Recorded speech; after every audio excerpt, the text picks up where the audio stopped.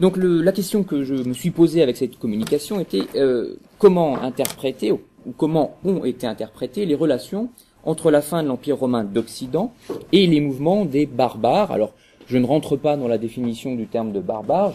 Ici, j'emploie une, extension du terme très large. Ce sont toutes les populations extérieures à l'Empire.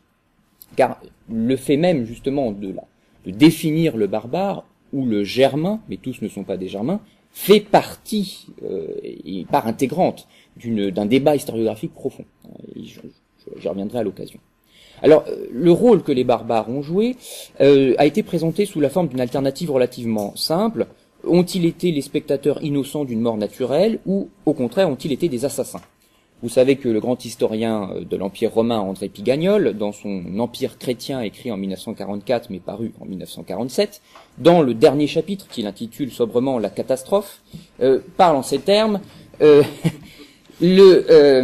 l'Empire n'est pas mort de sa mort naturelle, il a été assassiné évidemment, il pensait euh, à l'assassinat qu'avait connu euh, une autre civilisation euh, quelques années auparavant.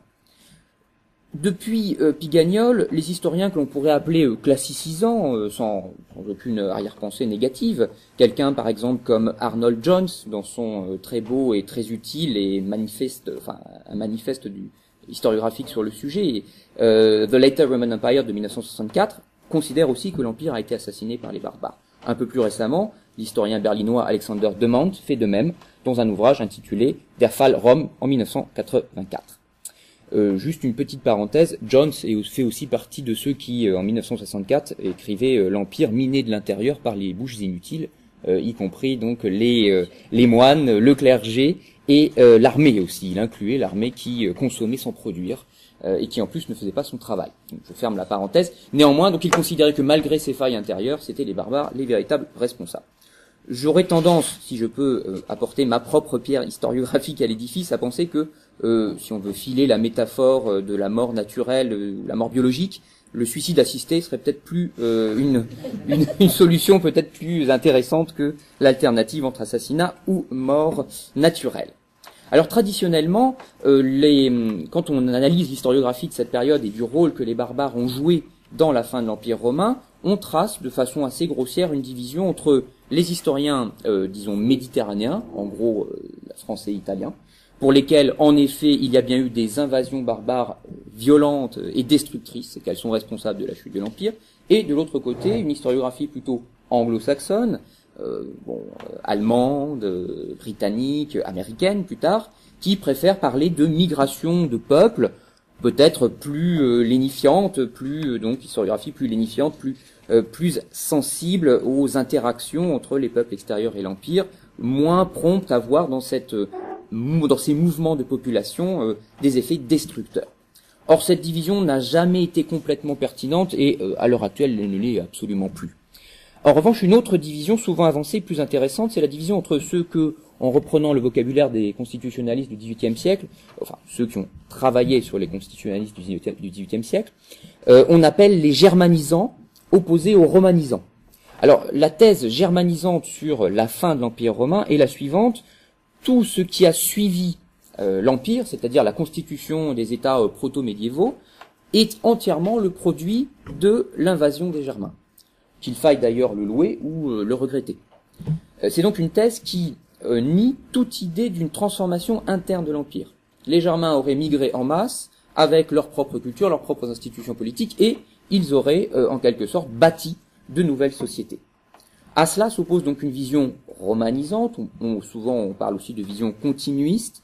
Les barbares n'étaient pas suffisamment, dans cette dernière vision donc, les barbares n'étaient pas suffisamment nombreux pour changer fondamentalement la société et les pratiques romaines, que ce soit en matière d'administration ou de politique, et de toute façon, les barbares cherchaient à se conformer au modèle romain. C'est une position qui a été euh, largement défendue, en particulier donc dans l'historiographie anglo-saxonne. Plusieurs noms euh, viennent à l'esprit. Je vous ai amené euh, le, dernier ouvrage de l'un des plus grands représentants de ce courant, l'historien qui a commencé sa carrière au Canada, puis il a fini aux États-Unis, euh, Walter Goffart. Et c'est un assez bon résumé de sa pensée, hein, Barbarian Tides, paru en 2006, que je fais euh, circuler, pour ceux qui voudraient euh, le regarder. Et euh, dans lequel donc on a cette, très largement diffusé cette idée sous une forme moderne. C'est aussi la position, la position continuiste, qui est largement adoptée par les médiévistes français, depuis notamment les travaux de Ferdinand Lott, hein, euh, son fameux, euh, sa fameuse mise au point sur euh, les relations romano-germaniques, qu'il avait intitulé en 1935 La pénétration mutuelle des mondes romains et germains. Si vous prenez le récent ouvrage sous la direction de Bruno Dumézil, Les Barbares, vous verrez aussi en introduction que chez les médiévistes français, c'est une position qui continue à être particulièrement dominante. Alors, donc après ce, cette introduction assez rapide, je voudrais en fait voir avec vous quelques points particuliers sur lesquels il y a donc il y a eu et il y a encore un débat historiographique assez euh, virulent. Premier point, c'est justement la nature des mouvements qui ont affecté euh, l'empire, les mouvements des barbares. Peut-on parler d'invasion, c'est-à-dire bon, un terme euh, assez fortement connoté sur le plan militaire, il y a une volonté d'agression et de faire disparaître l'adversaire ou au contraire de, l'amputer de quelque chose, de sa richesse, de son territoire? Si l'on regarde euh, l'histoire de l'Empire romain d'Occident au 5 siècle, on s'aperçoit qu'en réalité les périodes d'invasion proprement dites sont relativement euh, peu nombreuses. Hein. ça se résume au tout début du 5 siècle, euh, les mouvements des Goths en 401 vers l'Italie, des Vandales vers la Gaule en 406, et puis ça se l'arrête là. Et puis il y a une seconde grande phase d'invasion, hein, donc après la période 401-406, les grandes invasions des Huns en, en 451 et 452. Donc si honnêtement, on s'intéresse un peu à la chronologie, il est vrai que la notion d'invasion, euh, quand même, est peu recevable. Donc, plutôt qu'invasion, très, rapidement, dans l'historiographie, est apparue, euh, pour la remplacer, euh, l'idée de la migration. La migration n'est pas forcément d'ailleurs plus, on va dire, pacifique. Hein. La migration peut aboutir aussi à la conquête. C'est pas une question de d'opposer la violence à, au contraire, l'assimilation.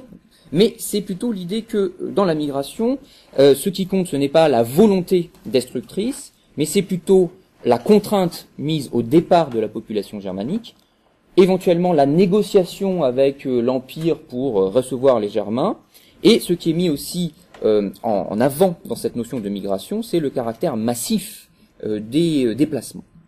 Donc dès le XVIe siècle, chez les historiens et les philologues allemands ou italiens, on pourrait citer Piccolomini, on pourrait citer euh, Konrad Pöttinger dans son édition de l'œuvre de Procope euh, dont euh, vous a parlé Annie Peter Custo en 1515, apparaît donc en latin le terme de migration de peuple pour parler des mouvements des barbares.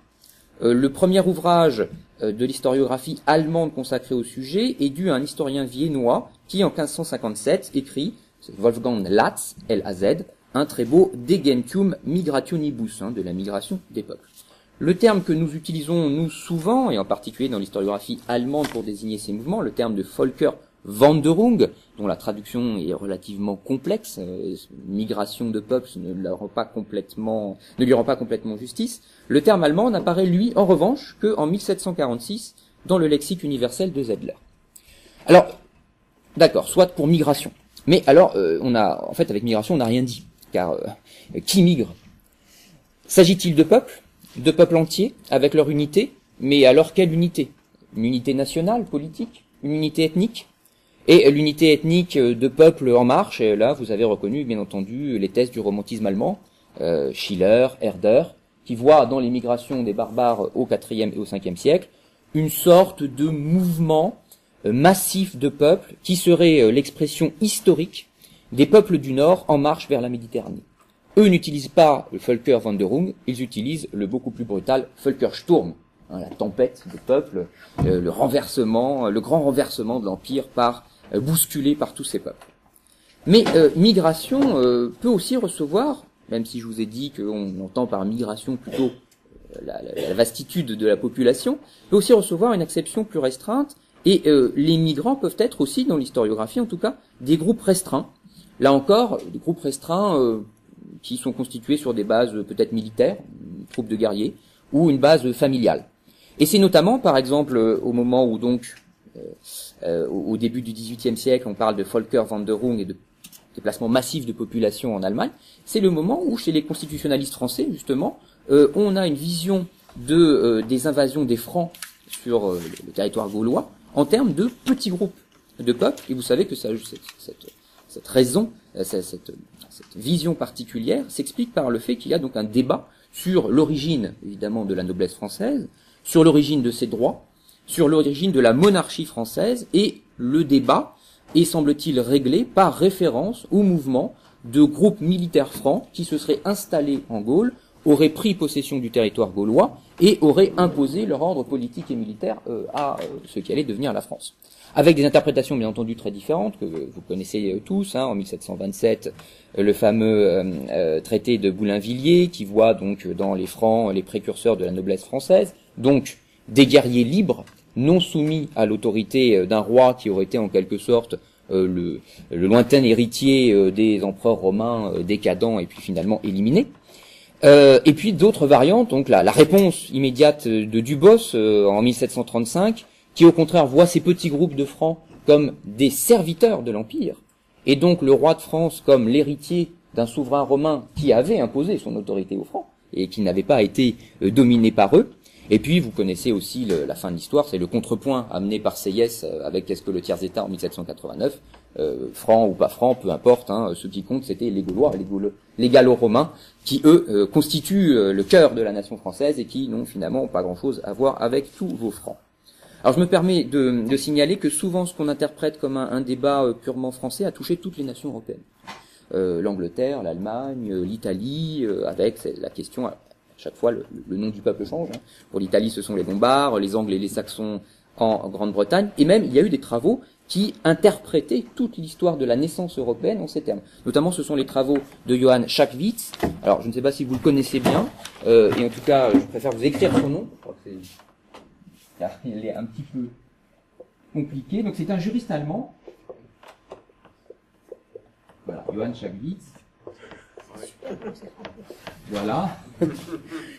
Donc c'est mieux, je pense que comme ça vous pourrez le retrouver sur, en, le, en le googlisant, ça sera plus facile voilà, euh, qui lui euh, place ce débat hein, justement, enfin plutôt place cette histoire dans un contexte européen et propose un vaste panorama de toute la naissance des, euh, des, des, noblesses européennes en termes justement d'apport de groupes barbares. Alors cette idée donc de petits groupes envahissant l'empire ou s'installant dans l'empire, migrant dans l'empire, a eu une très grande fortune, plutôt donc dans les écoles françaises francophone, avec Henri Pirenne, avec euh, l'école de Toronto, dont vous avez euh, le principal représentant dont je fais circuler l'ouvrage, Walter Goffart. Alors ce que j'appelle l'école de Toronto, c'est justement Goffart et ses élèves, hein, puisque Goffart a passé toute son existence ou presque à enseigner à Toronto, euh, qui justement à la fois refusent bien sûr l'idée d'un effondrement du fait des barbares, refusent l'idée aussi d'une migration massive, et il a donné naissance, ses élèves et lui ont donné naissance à une véritable école de pensée historique. Alors on pourrait citer parmi euh, euh, ses élèves euh, Michael Kulikowski ou Andrew Gillette. C'est aussi le cas de farouches adversaires de cette école de Toronto, que j'appelle l'école de Vienne, car leur base, si vous voulez, institutionnelle se situe à l'Académie des sciences d'Autriche à Vienne et dont j'aurai l'occasion de reparler. Donc je rentre pas encore véritablement dans le détail, mais au moins même s'ils s'opposent sur beaucoup de choses, Viennois et Canadiens sont d'accord sur le fait qu'il ne faut pas voir les migrations comme de vastes mouvements de peuples qui auraient submergé la population. Je fais une petite euh, digression archéologique, même si je sors légèrement de mon domaine. Il faut voir que ce débat sur invasion et euh, ou migration euh, aussi reposait sur une interprétation des données matérielles qui était particulièrement biaisée et orientée. Une interprétation dont le l'acmé s'est trouvé exprimé dans les travaux de Gustave Cossina, que les, modernes, les contemporanistes connaissent peut-être euh, mieux, comme euh, le père du, euh, disons, de l'interprétation archéologique du nationalisme allemand. plusieurs de ses ouvrages sont assez assez connus, ont fait l'objet de multiples rééditions. Il est souvent associé au nazisme. Je vous rappelle quand même qu'il est mort en 1931, donc le malheureux n'a pas vraiment euh, eu, il n'avait pas eu, euh, si vous voulez, un rôle à, jouer ni euh, institutionnel ni ni politique dans l'État nazi de, de, Hitler et de ses sbires, même si il a par ses travaux évidemment irrigué aussi la pensée nazie.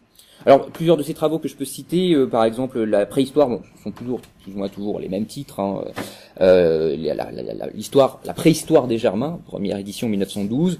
On peut citer aussi Ursprung und Verbreitung der Germanen en 1928, donc c'est la même chose, hein, naissance, origine, extension des Germains en 1928. Alors, Cossina n'est pas le seul à penser cela, mais c'est celui qui vraiment l'interprète de la façon la plus, la plus claire et donne le résumé, si vous voulez, le plus utile à utiliser.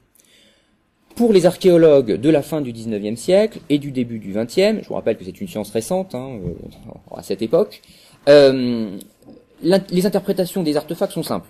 Lorsqu'on trouve un groupement d'artefacts relativement bien identifié, récurrent et bien euh, circonscrit dans l'espace, eh bien on peut associer à ce groupement un peuple. Si donc ces artefacts se déplacent, c'est que ce peuple s'est déplacé. Peu importe s'il s'agit d'une invasion ou d'une migration. Et là encore, troisième euh, a priori de cette analyse euh, archéologique, c'est que de façon identique, les cultures qui euh, reçoivent ces migrants répondent donc de, de, la même façon. Il y a une même réponse au stress induit par la migration ou par l'invasion, c'est-à-dire en fait la disparition de la culture qui reçoit un peu involontairement ces populations extérieures. Alors, je vous euh, rassure tout de suite, euh, depuis presque deux générations, les archéologues ont cessé de penser en ces termes, et ils euh, parlent plutôt, enfin lorsqu'ils constatent la récurrence d'un matériel identique sur des sites relativement bien circonscrits dans l'espace, ils parlent plutôt de systèmes d'interaction culturels, sociaux, religieux, systèmes d'interaction qui sont très mobiles, qui peuvent être modifiés par l'apport de population, même en petit nombre. Donc là, l'idée euh, générale de, le déplacement constant de population d'ouest en est ou d'est en est n'a plus tellement l'heure de plaire à nos collègues archéologues. Alors, l'archéologie, j'en parlerai encore juste une petite minute. Le, récemment, disons que les progrès techniques ont permis de replacer euh, l'archéologie au centre des débats. C'est notamment, ce sont notamment les, les progrès techniques relatifs à l'analyse des ADN des populations anciennes et des populations récentes, et en particulier aussi l'analyse des isotopes trouvés, euh, en particulier dans les dents euh, des, des, individus inhumés aux époques antiques. ces deux informations, enfin, ces deux sources d'informations, pourraient éventuellement nous aider à distinguer dans une population donnée les individus qui viennent de l'extérieur, donc de pouvoir aussi éventuellement quantifier leur nombre. Sauf que au, après euh, des débuts assez tonitruants qui ont euh, donné lieu à de, grandes publications et de grands espoirs, euh, parfois pas toujours très, enfin, dont, on peut aussi discuter la légitimité sur le plan moral ou sur la valeur sur le plan scientifique. Donc après des débuts assez tonitruants, on s'aperçoit quand même que la collecte de l'ADN antique est extrêmement difficile et que bon analyser le, le, type de calcaire que l'on retrouve dans l'émail d'une dent peut éventuellement nous dire où l'individu a grandi, mais elle ne peut absolument pas nous dire, cette étude, euh, la façon dont il euh, se voyait lui-même, quel pouvait être son rapport aux autres, quelle langue il parlait, et, ainsi de suite. Donc, euh, ce qui constitue précisément l'identité. donc, voilà. je ferme donc la parenthèse. on peut dire que c'est pas la, la montagne à accoucher d'une souris, mais disons qu'il faut utiliser tout cela avec beaucoup de précaution. Alors, parmi les autres questions, maintenant qu'on a réglé la question de immigration, enfin migration ou euh, invasion, quelles autres questions ont été posées au cours des siècles euh, autour de cette relation entre barbares et romains? D'abord la question de la chronologie. Quand ces migrations auraient-elles commencé? Dans la perspective traditionnelle euh, qui remonte au XVIe siècle, les Germains auraient toujours, les pardon, les barbares auraient toujours été en mouvement. Et leur premier mouvement aurait été la grande invasion des Cimbres et des Teutons à la, la, charnière des deuxième et premier siècles avant notre ère. C'est ce qu'on retrouve par exemple chez le grand érudit historien Beatus Rhenanus, dans son Histoire des Germains de 1531, et ce qui est encore repris chez certains historiens modernes comme De Mais surtout depuis von Ranke, depuis Léopold von Ranke et ses travaux de la fin du XIXe siècle sur l'histoire de l'Allemagne, et la préhistoire de l'Allemagne en particulier, on préfère voir le début de ces migrations dans le déplacement des Huns des steppes eurasiatiques vers euh, le, nord Caucase puis euh, le bassin danubien, qui eux-mêmes auraient poussé les Goths devant eux, euh, donc une chronologie qui placerait tous ces phénomènes vers la fin du IVe siècle, le dernier quart du IVe siècle de notre ère. Et globalement, dans l'historiographie, c'est la date qui est retenue, même si on peut euh, plus ou moins proposer des chronologies euh, décalées par rapport à ce schéma global. Autre élément qui a fait l'objet d'importants débats historiographiques, les motifs. Donc, donc ce sont des migrations, alors peuple ou petits groupes, préférons plutôt petits groupes, mais pourquoi sont-ils déplacés? Si l'on reprend la thèse des romantiques allemands, c'est le tropisme méditerranéen, le Volkssturm vers les terres euh, heureuses et fertiles du bassin méditerranéen, hein, par opposition à la froideur, à l'humidité, euh, à la stérilité des forêts germaniques. thèse qui se retrouve encore chez certains historiens, mais qui n'est plus, qui là aussi n'est plus tellement en vogue. Deuxième thèse peut-être plus intéressante, l'accroissement démographique. Ces populations auraient connu, à partir donc peut-être du deuxième, troisième siècle de notre ère, une euh, sous l'effet de leur vitalité naturelle, euh, pardonnez-moi de parler un peu comme Cossina, euh, aurait connu donc un accroissement démographique qui aurait rendu nécessaire la migration massive. Là encore, c'est une thèse qui est plutôt liée donc à l'historiographie allemande du fin 19e, début 20e, et qu'on a tendance maintenant à abandonner, d'autant plus qu'elle n'est pas tellement documentée archéologiquement.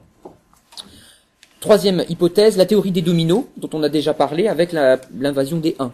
La théorie des dominos, elle est assez simple. Hein, euh, euh, le grand mouvement des steppes eurasiatiques, euh, commencé par les Huns au milieu du IVe siècle, a poussé devant lui toutes les autres populations germaniques qui se seraient donc précipitées sur l'Empire romain. C'est une hypothèse qui continue à avoir des turiféraires, notamment en particulier un certain Peter Heather, alors je dis un certain, un collègue et ami, Peter Heather, professeur donc à, il a longtemps été à King's College, maintenant je crois qu'il est à UCL. Euh, c'est l'idée donc euh, effectivement qu'il développe euh, dans de multiples travaux depuis 1995 et donc vous avez peut-être lu les derniers aboutissements puisque certains de ces ouvrages ont été traduits la fin de la, chute de l'Empire romain notamment a fait l'objet d'une traduction. c'est une théorie qui est tout à fait valide et il est certain que les déplacements de population dans les steppes eurasiatiques et aussi dans les steppes pontiques ont abouti à des recompositions politiques et à, bon, euh, disons ce que euh, Wolfram et les siens, les écoles viennoises, appellent l'alternative. Soit les euh, Germains devaient se tourner vers l'Empire pour se protéger contre les Huns, soit ils s'aggloméraient à l'Empire des Huns. Bon. Ce n'est pas une, hypothèse complètement à repousser. Mais une hypothèse beaucoup plus récente et beaucoup plus intéressante qui a été justement développée par l'école de Vienne, dont je vais vous parler tout de suite, explique au contraire l'immigration en termes d'interaction entre euh, les populations barbares et l'Empire. À partir du 1er siècle de notre ère, le pouvoir romain a porté son pouvoir justement jusqu'au Rhin et jusqu'au Danube et a commencé à exercer sur les populations immédiatement voisines de ces deux fleuves euh, une euh, politique extérieure active qui visait justement à maintenir les populations extérieures dans sa dépendance population, euh, explication qui, enfin, politique, pardonnez-moi, qui euh, prenait différentes formes. La conséquence de l'intervention des Romains sur les structures politiques romaines aurait abouti à l'apparition de, on pourrait dire un renforcement de euh, des structures politiques des sociétés barbares et l'aboutissement de ce renforcement, ce serait l'apparition au début du IIIe siècle de larges confédérations de peuples que vous connaissez bien sous le nom d'Alamans, de Francs, de Goths, et c'est cette donc euh, euh, intervention des Romains dans les structures sociales et politiques extérieures qui serait responsable de finalement l'accroissement de l'autorité politique de quelques peuples, de quelques souverains euh, barbares, lesquels auraient, fort de cette nouvelle puissance qui leur permettait de lever des armées plus nombreuses, plus efficaces, de pouvoir rester en campagne plus longtemps, auraient eu envie de, euh, si vous voulez, euh, se servir directement sur l'Empire plutôt que d'attendre les cadeaux diplomatiques. C'est donc une, une, thèse qui a trouvé ses principaux, sa principale expression dans ce qu'on appelle l'école de Vienne, qui remonte au début des années 60 avec les travaux de Reinhard Wenskous sur l'origine des peuples germaniques, sur l'origine de, de, ce qu'il appelle, enfin de ce qu'on appelle Stamm, hein, les peuples germaniques, les tribus germaniques, et c'est un processus donc qu'il a très finement analysé, et ses élèves, aussi bien Walter Paul que Herwig Wolfram, qui continuent à enseigner euh, à Vienne, ont largement développé donc cette, euh, cette idée, qui est aussi reprise, euh, on va dire, à la fois par les, les historiographies anglo-saxonnes américaines et allemandes. À cette idée de la transformation, donc disons que l'ouvrage le, plus utile, hein, si vous voulez avoir un petit aperçu de, de, des thèses viennoises, ce sont des auteurs très prolixes, euh, et si vous ne parlez pas, si vous ne lisez pas en plus l'allemand, c'est cela, c'est un petit, c'est assez ancien, ça date de 25 ans environ. Ça s'appelle donc euh, l'Empire romain et ses euh, voisins germaniques. C'est une traduction de l'allemand d'un ouvrage qui date de 1990 et d'un monsieur appelé Herwig Wolfram, qui a été l'un des grands, qui est l'un des grands spécialistes des Go dans l'histoire euh, actuelle et euh, qui a beaucoup appliqué ce, schéma que je viens de développer rapidement pour vous justement autour de la, de, la nation gothique et l'a étendu à d'autres peuples germaniques. Donc là aussi, je vais passer si vous voulez avoir une petite idée du contenu du volume. Alors cette idée de population germanique plus puissante qui aurait cherché en quelque sorte non plus à négocier avec l'empire mais à s'emparer de l'empire a trouvé des, au contraire des contradicteurs très forts euh, par exemple chez Goffart, dont le livre circule, euh, mais aussi chez un historien euh, britannique appelé Drinkwater, qui eux nient absolument l'idée d'une consolidation des structures barbares et qui aussi nie même toute idée de migration. Goffart constate, enfin, ne, ne, nie pas en réalité qu'il y a eu des déplacements de population, mais il ne les interprète pas en termes de migration. Et donc, il est obligé, évidemment, euh, de réfuter l'idée d'un accroissement militaire ou politique des capacités des populations germaniques. Euh, le, euh, ce qui est intéressant dans cette idée développée par Wolfram, par les historiographies récentes, c'est qu'elle pose un, un, point très très fort, elle met le doigt sur un point très très fort. La majeure partie des populations qui se sont installées dans l'Empire au IVe et au Ve siècle étaient des voisins très anciens de l'Empire les Francs ne débarquent pas de Scandinavie. Ils sont, euh, ils vivent euh, au, nord et à l'est des populations, euh, des provinces de Belgique et de Germanie. Même chose pour les Goths qui sont installés sur le Danube depuis le début du IIIe siècle. Donc, comment expliquer finalement comment faire cadrer à la fois migration et en réalité simplement franchissement de frontières, ce qui a été la majeure partie des installations de barbares au IVe et au Ve siècle. Dernier point avant euh, de finalement euh, conclure, dernier point, euh, dernier domaine qui a fait l'objet bien entendu de d'un très fort débat historiographique, ce sont les conséquences de ces migrations de peuples, qu'ils aient été nombreux ou peu nombreux, qu'ils se soient déplacés sur de longues distances ou au contraire qu'ils aient eu simplement à franchir le Rhin ou le Danube, qu'ils occupaient donc ils occupaient la rive nord-ouest depuis assez longtemps. Donc ces, ces, conséquences, évidemment, elles sont euh, surinterprétées sur le plan historiographique pour une bonne et simple raison, c'est que n'importe quel observateur, même s'il n'est pas particulièrement nationaliste, constate que l'origine des nations euh, européennes modernes se trouve lointainement dans euh, ce mouvement des Angles et des Saxons en Angleterre, des Goths, des Lombards en Italie, des Francs, des Burgondes en France, des Visigoths en Espagne, non pas sur le plan bien entendu euh, ethnique, hein, euh, bien que, alors là je refais encore une petite parenthèse, euh, à l'occasion, j'étais encore jeune étudiant en 1996 quand il y a eu cette espèce d'énorme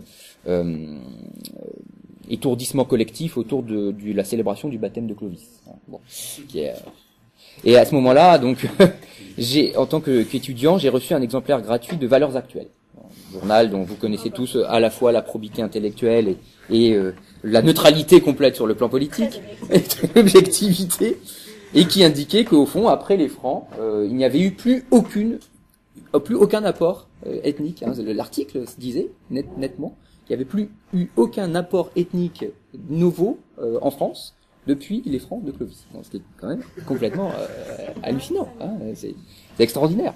Bon, donc je suis pas, vous avez compris que je ne suis pas abonné à, la, Valeurs Actuelles, et donc, euh, bien sûr, il ne s'agit pas d'origine ethnique, mais d'origine politique. Hein. C'est vrai que euh, la fragmentation de l'empire s'est fait selon des lignes qui, assez rapidement au VIe siècle, vont correspondre à ce que on, conçoit maintenant comme les, euh, nos États-nations modernes.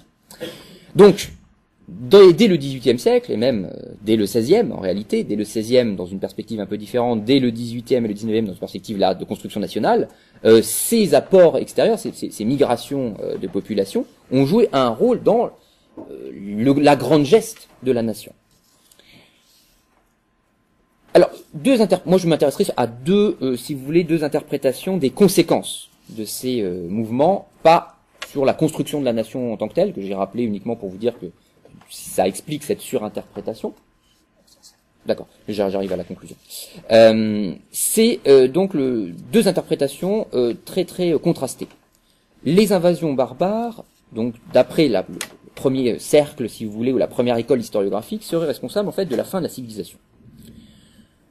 Non seulement les barbares, peu importe qu'ils aient migré, envahi, peu importe leur nombre, non seulement ont fait disparaître l'Empire romain, mais au lieu de, en plus de cela, ils ont fait s'effondrer tout ce que l'Empire permettait, c'est-à-dire un état absolument extraordinaire de civilisation jamais atteint dans l'Antiquité et que l'on ne retrouve que bien plus tard dans le monde euh, moderne.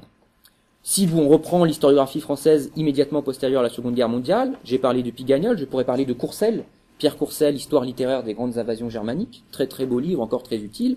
Courcelles divise son euh, ouvrage en trois parties, l'invasion, l'occupation, la libération. La libération étant la venue des Byzantins qui euh, récupèrent, tentent de récupérer l'Italie, l'Afrique et l'Espagne sur, euh, sur les populations euh, barbares.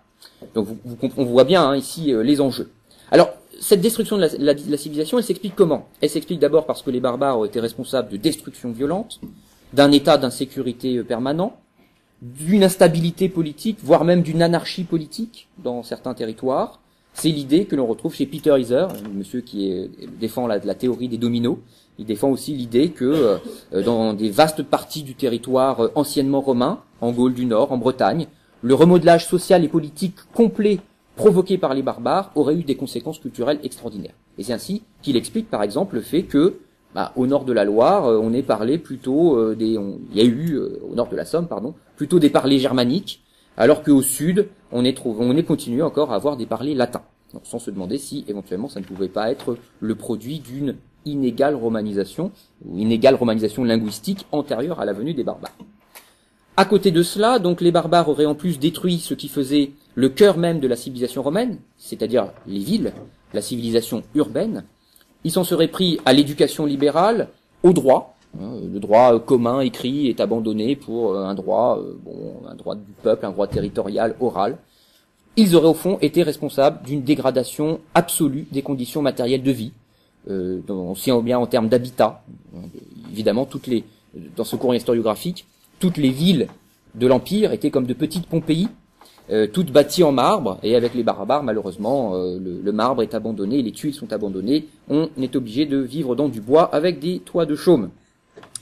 Euh, on cesse d'avoir de la vaisselle de grande qualité pour manger et boire dans des écuelles en bois, et évidemment la monnaie disparaît, donc c'est la paupérisation complète.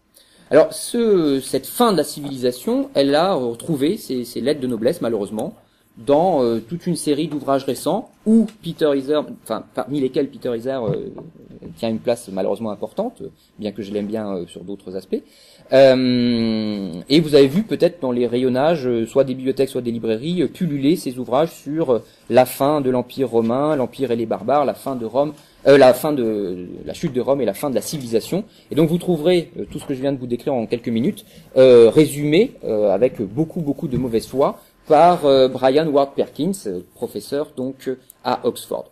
Euh, quelqu'un que j'aime beaucoup aussi qui s'appelle Guy Heilsal euh, parle pour Heather et euh, Brian Watt Perkins qui voit donc dans l'arrivée des barbares la fin de la civilisation il parle de contre-révolution oxonienne car tous les deux ont longtemps enseigné à Oxford. Là aussi je fais passer l'ouvrage et j'aurais beaucoup à dire peut-être si vous me rapportez enfin si vous m'interrogez sur le point. Donc dernier point avant de passer à la conclusion. Au contraire au contraire dès le, les premières euh, interprétations historiographiques de ces mouvements ont été euh, très positives. Dès le XVe siècle, chez les philologues et historiens euh, allemands et italiens dont je vous ai parlé récemment pour au, sujet donc de cette cette idée de la la migration des peuples, hein, eh bien la migration des peuples allemands est vue au contraire comme un grand appel de, une espèce de vaste appel d'air qui aurait apporté dans l'État méditerranéen complètement contraint par euh, l'autoritarisme romain, euh, la liberté, la liberté naturelle des Germains. C'est ce grand thème hein, qui euh, irrigue toute l'historiographie, tous les, débats intellectuels en Allemagne et en Italie au début du XVe siècle. Les Germains, peuple libre, auraient apporté ce goût de la liberté lorsqu'ils ont migré dans l'Empire.